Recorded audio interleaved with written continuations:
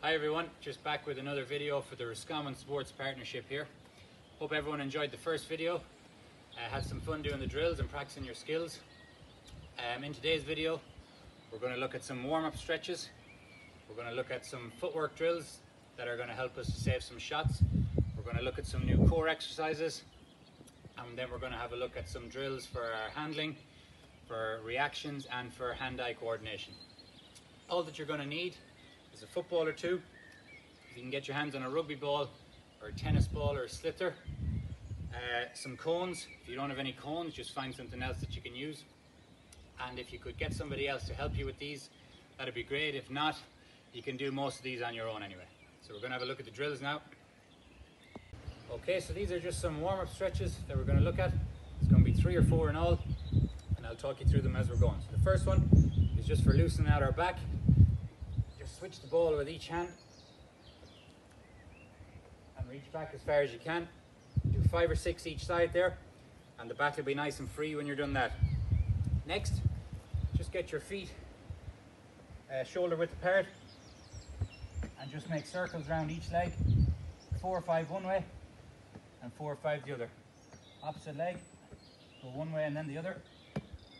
Then join the two of them together.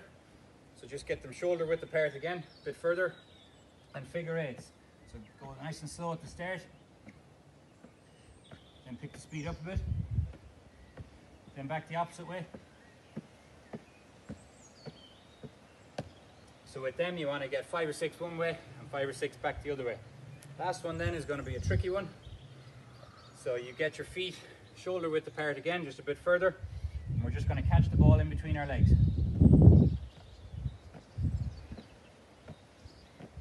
With that again, get maybe 10 of them. If you can get more, great. If not, just leave it at 10. Okay, so first up we're going to take a look at some footwork drills. Having good quick footwork is going to help us to save more shots because we can get our body in the way. So if you can get five cones, lay them about a foot apart each one and there's going to be five different uh, exercises here okay so first one you're shuffling in and out you get to the top then you go back to it okay then come to the front of them and you're just going weaving in and out forward and back and back to the start again try keep looking forward all the time Next one then, just shuffle side to side. Try keep looking forward. And then last one, just get a few bunny hops. Okay, so now we're going to look at trying to do that with two balls. Okay, so this time we're going to try and go through the cones holding two balls, try and keep them balanced and try and stay looking forward at the same time. Get to the top, go back the way. Okay, then we're going to shuffle in and out at the front and back. Again, try stay looking forward and back the way again. Try stay looking forward all the time. If you need to have a look down, just have a quick one. Get to the end, back you go. Then get rid of one ball. Just get through our bunny hops again. Try to get the knees nice and high. And now we're going to look at that just with some shots at the end. Okay, so for the last set, you can get somebody with you, just take a shot at the end of them. So straight on. Shot.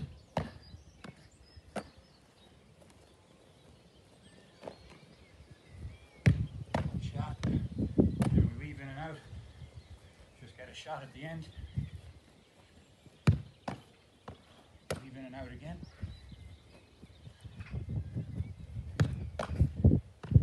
Sideways. Stay looking forward all the time. Shot. Back the way. And then our bunny hops.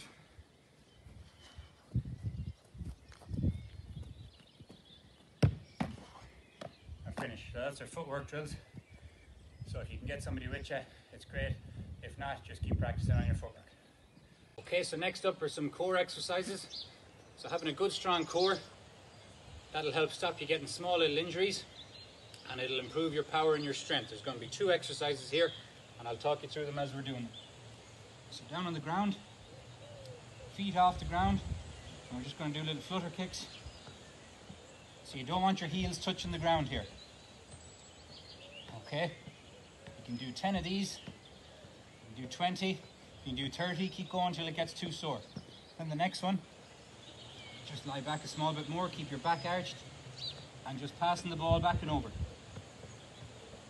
Again with that, if you can get 10, if you can get 20, or if you can get 30, keep going till it's sore, and do that for two or three rounds. Okay, so next up are hand-eye coordination drills. If you can get a tennis ball or a sliotar, that'd be great. If you can get somebody else to do it with you as well. If not, you can just use the wall. There's going to be three drills here, and these will keep us nice and sharp. So first off, just warm up, left and right hand. Stay on the toes. Okay, so get maybe 10 each hand, then move into the wall. Put your back to the person throwing.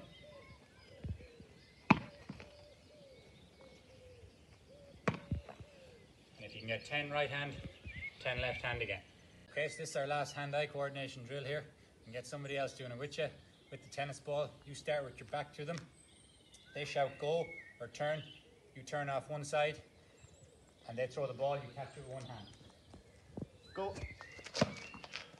Turning off both sides. Go. You get 10 right hand, 10 left hand, or 10 turns on your right and 10 turns on your left. Okay, so the next set are our handling drills. What we want to focus on is the W shape and using our footwork that we've used from the footwork drills to help us get out. You don't want to be taking big long strides. You want to take a few short quick ones like we've been working on in the footwork drills. There's four exercises in this part. First off, focusing on the W, just hand pass. Get five each hand, then into kick pass, five each leg. Then focusing on W, throw the ball in the air, get up off the ground. Five each leg, then we can kick.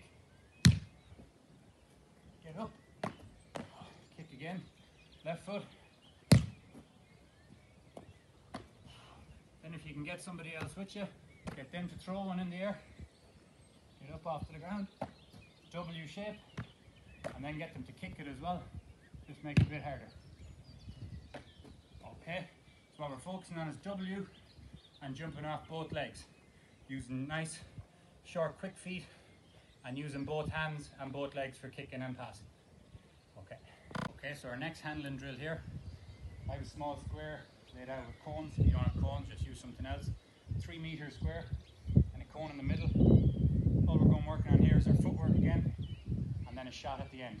Okay, so Go around each cone, back to the middle.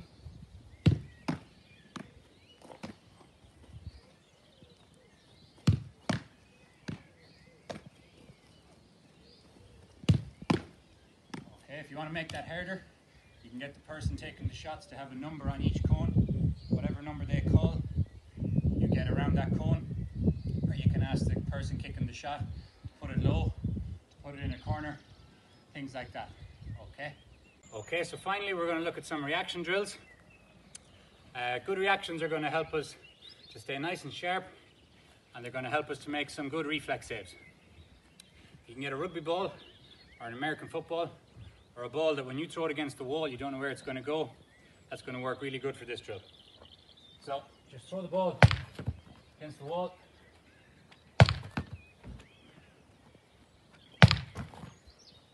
You don't know where it's going to go. If you do that 10 times, take a break and then into the next reaction drill. This is our last reaction drill. Uh, you're going to need two balls, one in your hand, one on the ground just a small bit away from you. Going to throw this ball in the air, dive on the ball on the ground, get up really quick and dive to wherever this ball has gone. Okay, so you start on the toes, throw in the air, up quick, catch that ball. Same again, set it up, throw the ball in the air again, dive on that one, and catch this ball wherever it lands. You want to do five each side, and you should be good to go after that. Do two or three rounds of that with the rugby ball drill. Okay, so that's all our drills there. Uh, if you can get out and practice them a couple of times a week, you'll be flying it. Uh, thanks for watching. I will see you again soon.